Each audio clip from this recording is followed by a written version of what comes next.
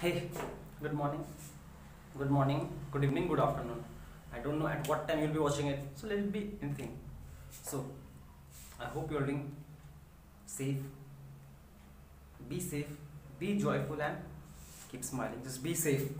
Finally, chal, we'll start. What we were continuing, will continue with our discussion on the second chapter, which was motion, and this will be our second lecture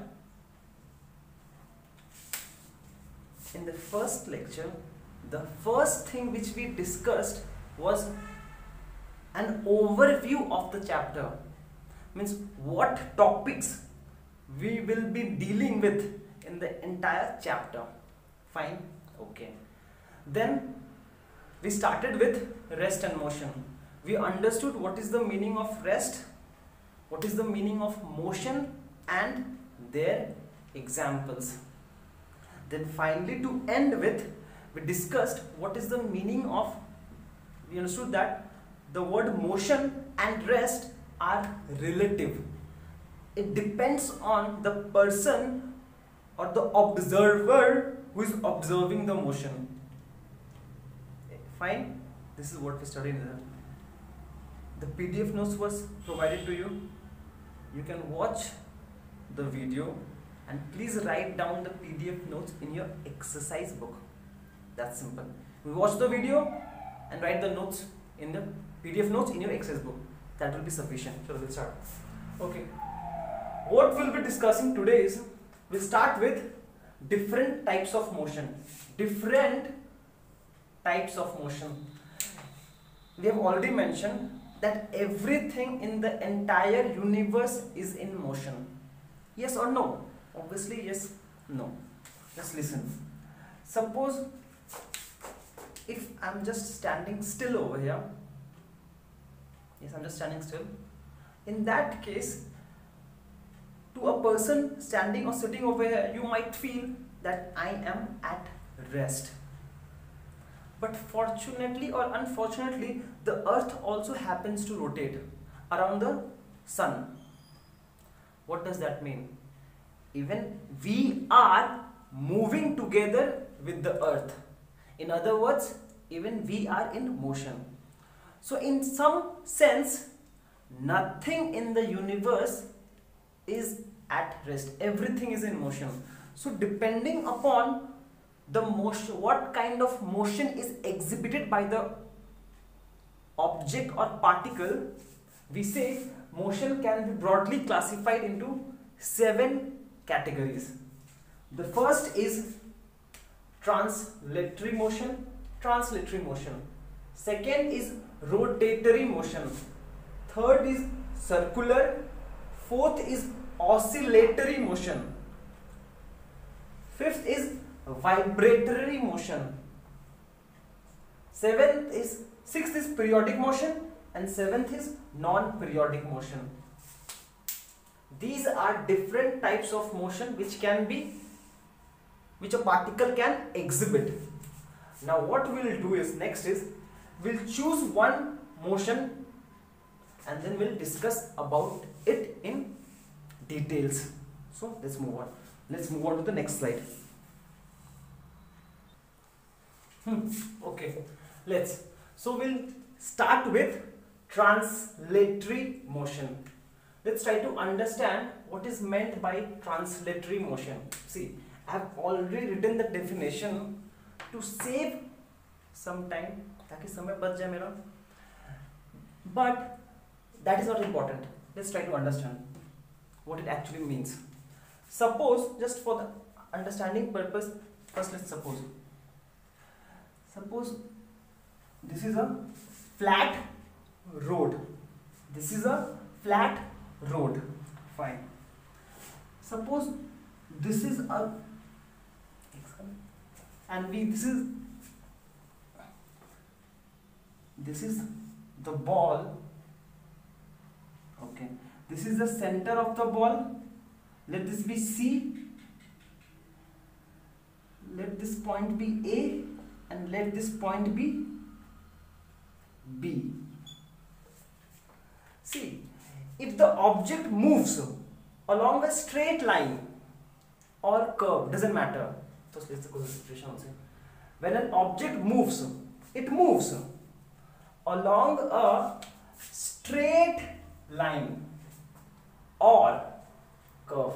It doesn't matter whether it moves along a straight line or it moves along a curve. That's not the point. What matters is such that every point on the object every point on the object covers the same distance in the same interval of time. If the object moves from one point to the other along a curved path or straight path straight path it doesn't matter. What matters it? The every point on the object will cover the same distance. Just give you I'll give you a much simpler example. Suppose I'm standing over here. This is my position. This is my position A.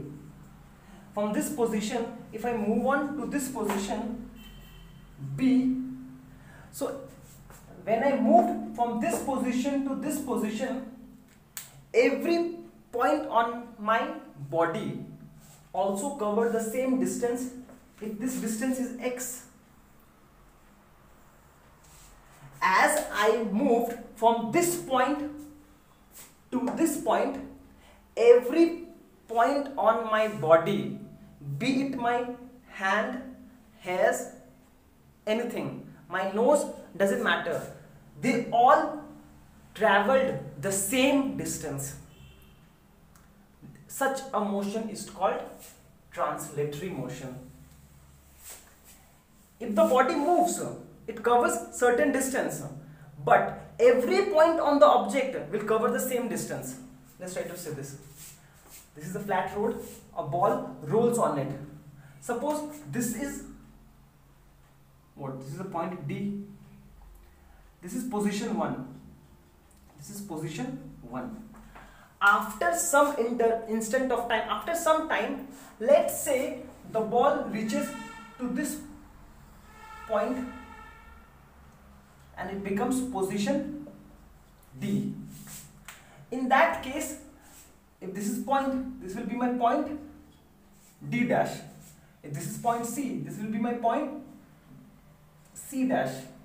If this is point B, let this point be B dash. A, this point be A. Okay, fine, we'll keep it A only. See, we can keep it A also, A dash, doesn't, doesn't matter. Now see, just try to understand what I'm saying.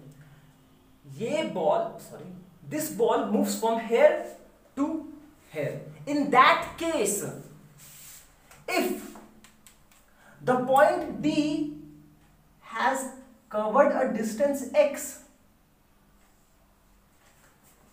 then the point C will also cover has also covered distance x point A has also covered the same distance x and the point B has also covered the same distance x. That is A A better I give it dash only. A dash D dash B dash C dash. A dash dash b b dash is equals to c c dash is equals to d d dash. Then such a motion is called translatory motion is it clear it's very simple if this person is standing over here and this person reaches over here after some interval of time every point on the body his hair his eyes, his hands, his legs, all these things would have covered the same distance. If this distance is suppose 10 kilometer and this is position 1, this is position 2.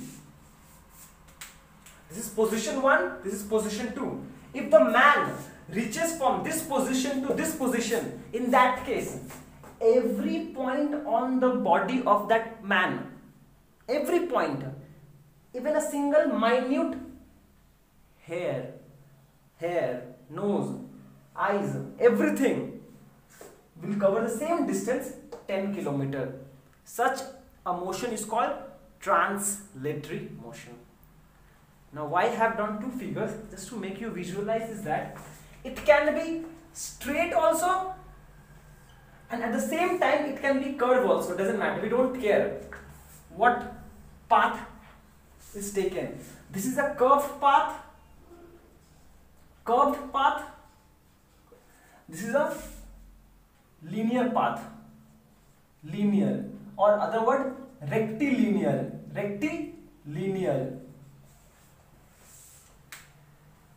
Is it clear? Okay. now the particle can move along a straight line also curved line also. Hence translatory motion can be classified of two categories. We know translatory motion but the translatory motion can be of two types. One is the sorry I'll just add up over here I'll just add it over here number one is A when the particle moves along a straight line it is called linear motion linear motion or rectilinear motion rectilinear motion and if the particle or the object happens to move along a curved path this is a straight path this is the curved path then such a motion is called क्या बोलते उसको curvilinear motion curvili I forgot the spelling C U R V I I don't curvilinear L I N E R I know something wrong with spelling curvilinear motion please check the spelling of this huh please check the spelling I might be wrong with this curvi v I don't have the book also I don't have the book also पता नहीं छोड़ो okay fine is it clear first what we started with is we started with trans different types of motion and the first category is translatory motion the simply it means that a particle may move along a straight line or a curved line doesn't matter but the every point on the object must cover the same distance in same interval of time that's it.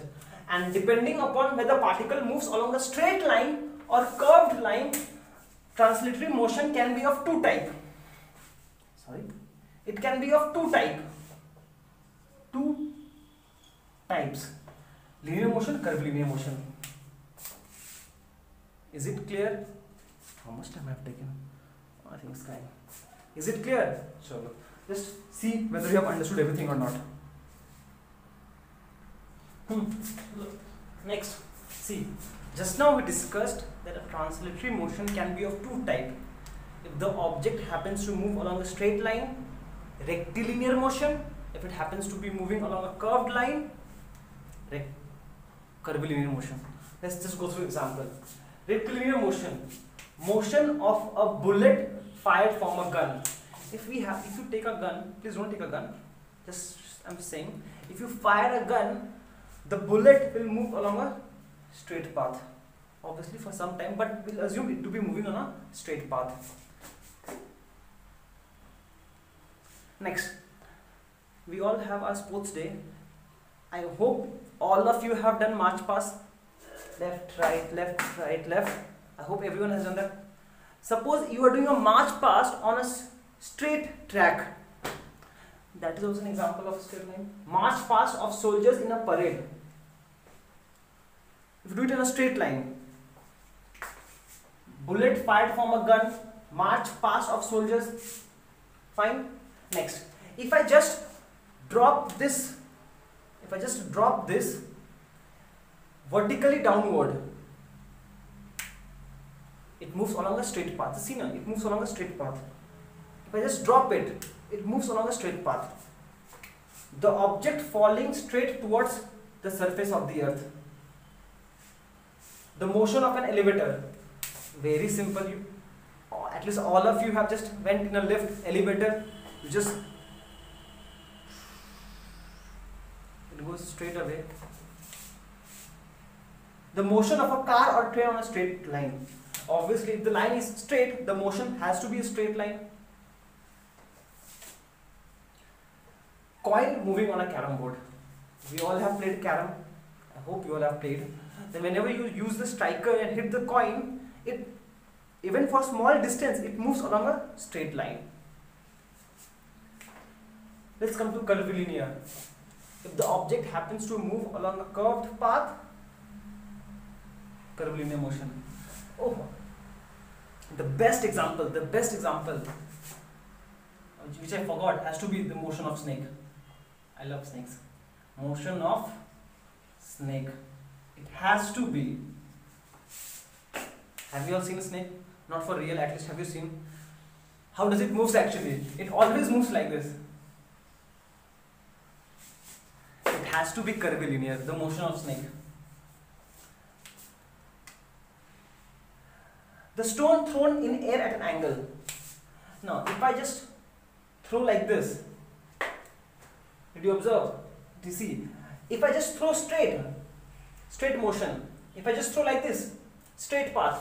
But if I throw like this it moves like this. Along curved path. We have just thrown now like this. The stone thrown means if this is the ground if I throw stone like this it will move like this. This is a curved path. The bird flying in the sky. Obviously it moves randomly. We don't know the motion of a car or a track on a curved path it has to be the vehicle taking a turn on road suppose you're driving and finally something comes with turning what you're doing is initially you were driving straight but suddenly you had to take a turn you were driving straight but suddenly you had to take a turn it was a curved path. This, this is interesting. The javelin throw by an athlete. I hope you have seen, don't know whether you've seen or not Olympics. Have you seen this? It's like a rod, a big rod taken by an athlete and he throws like this. He, carries it like this and he throws like when he throws, this is an athlete, he comes and he throws, it goes like this. And the one who is abiding by the rules of the game who throws it to a larger distance wins the game. The motion of an airplane or rocket. Oh, we have all seen rocket. Then it goes like this up sometimes, then straight. Obviously, it's not a straight line. That much we can say. So these were examples. In the entire motions, different types of motion, all you need to know is their definition, understanding, and examples. Nothing more. Next. Hmm, okay now let's move on to the next category of motion which is one and only rotatory motion. Okay fine. Let's try to understand what do we mean by rotatory motion. Finally. First let's just go through the definition.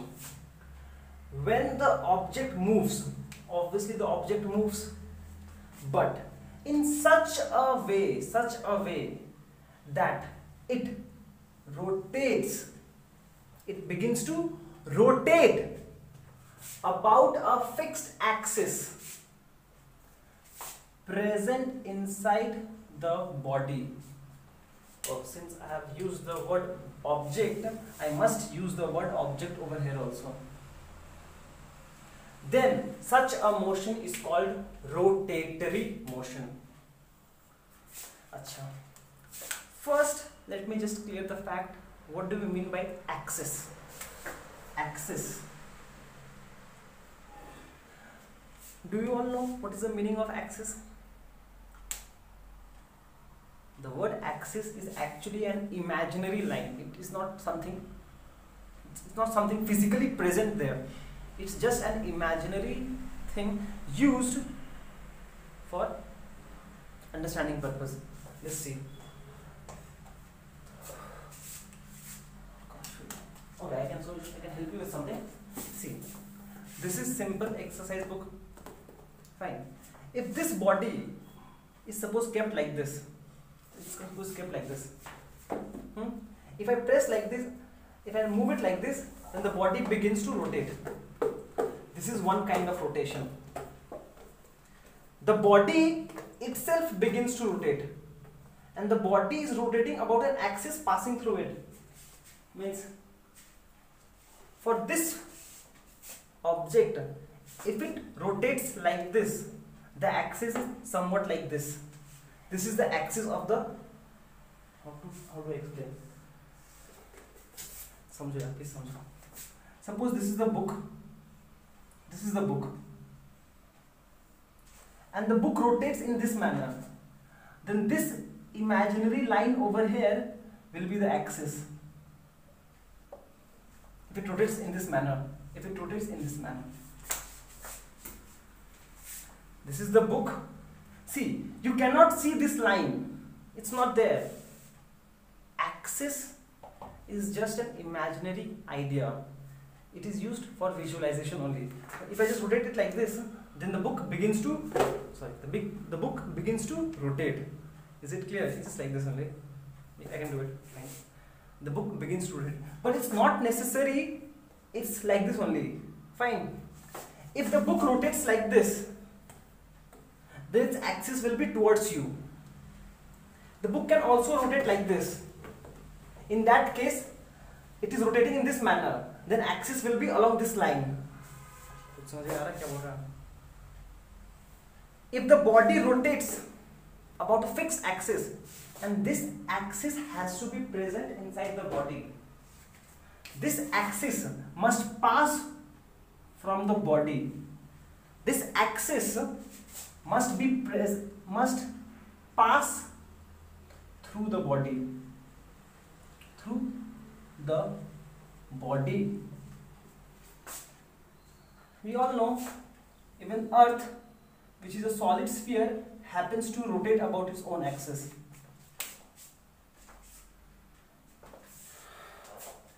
the solid sphere also rotates like this it continuously rotates like this these are all rotatory motion is it clear am i making any sense to you if the body begins to rotate about a fixed axis. It must rotate about a fixed axis. And this axis must be present inside the body. Only then such a motion is called rotatory motion. The body must rotate. Fine.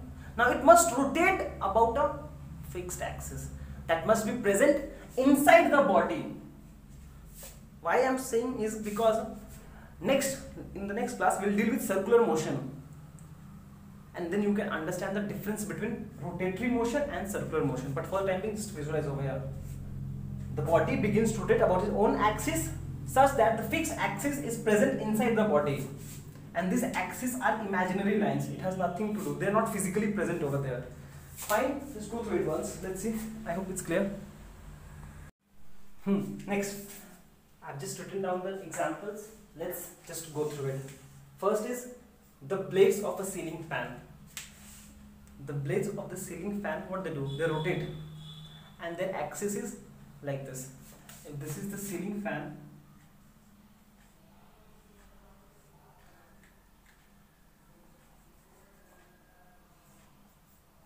they rotate in this manner and their axis is this is their axis about which they rotate Next, motion of earth about its own axis. Motion of earth about its own axis. It, I hope you all know that. Earth is not at rest. It rotates about its own axis and at the same time it rotates around the sun. If this is sun, it moves like this. Which causes day and night. The top spinning on it, what I hope you all have seen the top. How it rotates something like this.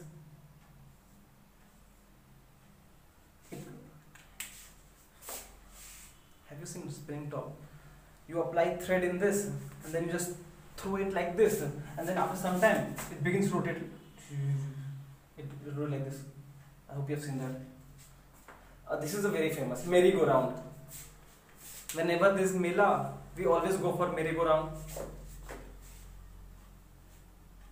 Hmm, not like this. It goes like this. Sorry it goes like this. Have you gone in a merry-go-round? And then potter's wheel. I don't think we have seen potter's wheel. There's a wheel like this. The potter it's the one who makes pot. He, will, he has a big wheel over there he'll just spin the wheel and put the mud on the wheel and then he'll just give a shape to it is it clear? The wheel is there. You just spin the wheel keep the mud or the clay on the wheel top of the wheel and the wheel automatically gets shape according to your choice whatever shape you give it. Fine? Fine. Potter's wheel. Now the only thing important thing which i really want to emphasize is what is the difference between rotatory motion and translatory motion what is the difference between rotatory motion and translatory motion please note this the difference between rotatory and translatory is very simple. In translatory motion, every object, every point on the object covers the same distance every time. Every point on the object covers the same distance. But that is not true in case of rotatory motion. Let's see why. Suppose this is a circle. This is the center. Fine. Now, suppose I have two points a and the other point over here B. Fine. This is at a smaller distance, this is at a larger distance. This is small r, this is, this be capital R. Now, if this wheel moves one cycle, moves one complete rotation, in that case, the distance traveled by this point will be this distance. This is the distance traveled by the point A in one cycle. Whereas the distance traveled by point B will be this. And obviously we can see that the point B which is at a far distance from the center, this is my center, The point B, which is at a far distance from the center, covers the more distance compared to the point A, which is at a less distance from the center in one complete cycle. That's not true for translatory motion. In translatory motion, every point on the object will cover the same distance in same interval of time. But over here we see that if it completes one cycle, in that the point closer to the circle center covers a less distance, whereas the point it covers this much.